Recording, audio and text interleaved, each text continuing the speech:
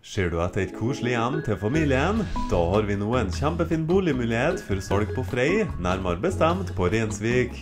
I Rensvikveien 20 selges det nå en flott oppussa enebolig med fine uteområder, ny balkong og klarlagt fundament til dobbeltgarasje.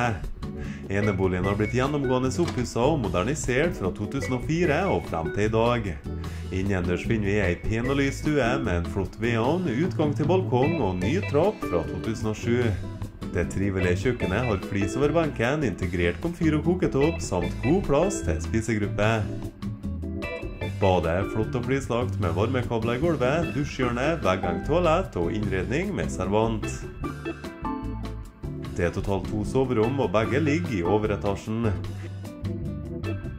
Her er det òg ei trivelig loftstue. Boligen har òg en trivelig balkong bygd i 2016 og et praktisk vaskerom med utslagsvask. Nyt livet på de trivelige uteområdene i vakre naturomgivelser. Herfra er det kort vei til handelssenteret på Løkkemyra og flotte turområder. Vil du ha mer informasjon om her, ta kontakt med meg. På telefon 993 17 191 eller erik at viseiendom.no.